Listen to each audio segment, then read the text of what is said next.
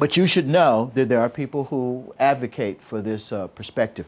And they treat all of these subgroups as daughter languages of, of a mother Afroasiatic. However, with regard to Afroasiatic, there seems to be a growing consensus that this family is related to Nostratic as a sister language rather than as a daughter, as Greenberg and Harold Fleming had already proposed. So there are other people who do accept the Nostratic hypothesis, but they don't see Afroasiatic as a daughter of Nostratic. They see it as a sister, which means that there would be a mother or a father of both Afroasiatic and the Nostratic groupings. That you could probably make work, and you would make it work uh, uh, by going way back in time, and you would basically say that when you had the Out of Africa movement, that uh, the people who left the people, at least the northern part of the world, left from a region, uh, say in Northeast Africa, and that the people who were left uh, are the people who, who wound up speaking uh, Afro-Asiatic, and, and that'll work you know. But in general, those long distance linguist, ling, linguistic hypotheses with the deep time reconstructions uh, don't conform to what uh, most historical linguists think is scientifically provable or valid. And so there are only a handful of people who are engaged in that. Now, in terms of geography, again, we want to have a setting for our culture.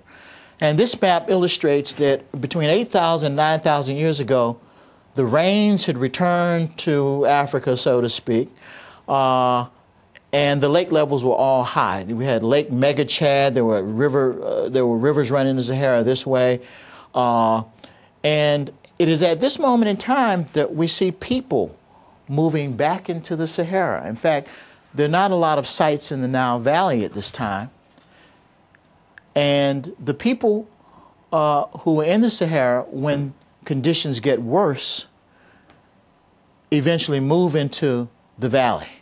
So when we look at the pre-dynastic cultures of early Egypt, we see influences from the Sahara.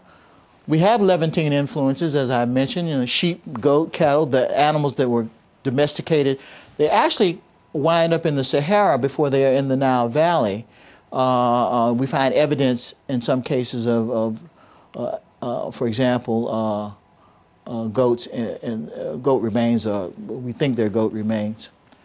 In terms of the early pre-dynastic, there's a culture called the Tasian, which people have generally put together with the Badarian, but the Tasian has a particular kind of beaker, uh, uh, tulip shape, that has its ancestry, clearly seems to have originated in the Sudan, up and down the Nile Valley from the Neolithic, but probably ultimately of Saharan origin, and not found in the Near East, are these slate palettes. And uh, I don't have any uh, slides of those that, that I'm going to show today, but uh, just go down to the Petrie Museum in London and you can see some beautiful ones from the Badarian and the Naqada periods.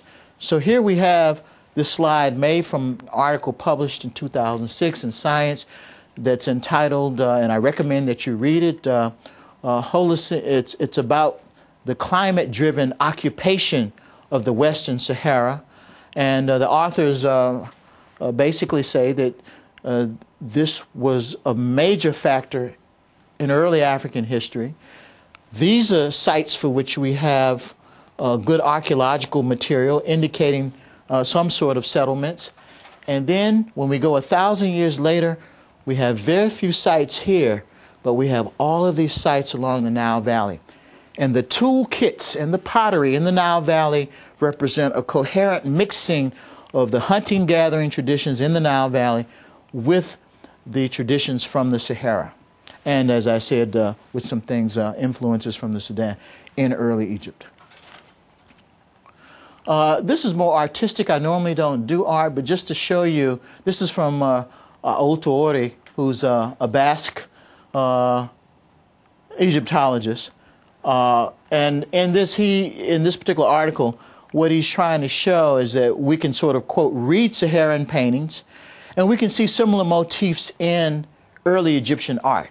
So you have in early Saharan paintings, you have men with elephants. You don't normally think of elephants being in the eastern Sahara, but they were there at one time. Uh, this motif, men, did he really actually, it's hard to believe the giraffes would let you do this to them, but anyway, it's there.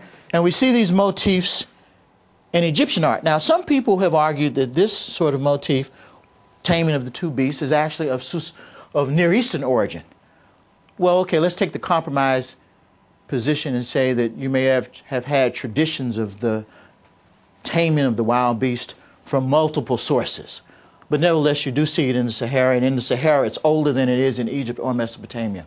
This deformation of cattle horns, still seen in southern Sudan today, was also practiced in the Sahara and in this rather late depiction of a cow in ancient Egypt, we see the same practice going on.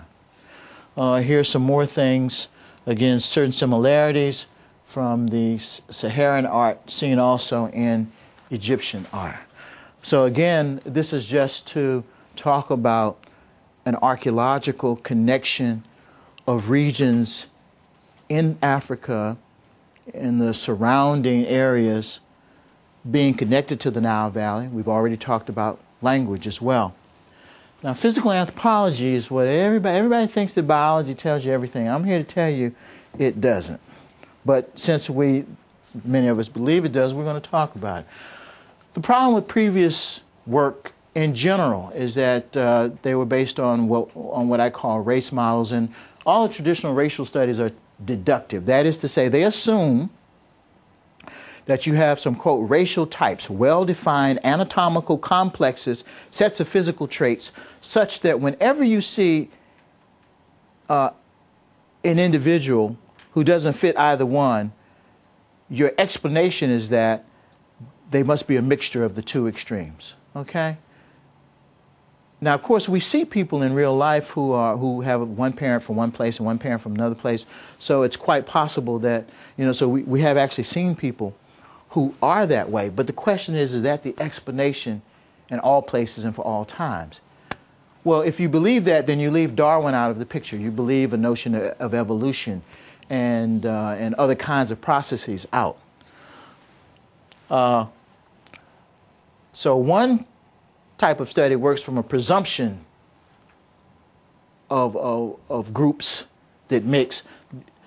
The other kind of study takes a little bit different point of view, and it's usually involved involves mathematics, whereby you, you measure up something, you submit it to the computer, and see where things cluster or where they group. That always is not foolproof either because you need a model. You need a model. So you ground your discussion, from my point of view, in talking about African diversity. Okay? And these are the different uh, sub areas of, of human biology that have been useful skeletal biology, serogenetics, DNA, uh, that all feed into us being able to talk about population diversity and origins.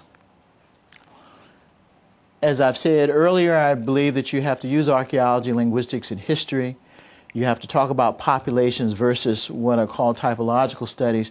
You have to be willing to talk about your methodology and whether or not just because you measure it and, you, and you get results from the computer uh, that this is, this is easily interpretable without a model. You have to talk about the history, the sociology of knowledge. That is to say, uh, are the facts determined by people in power? You have to talk about history of ideas, and we want to talk about phenotype versus descent. Now,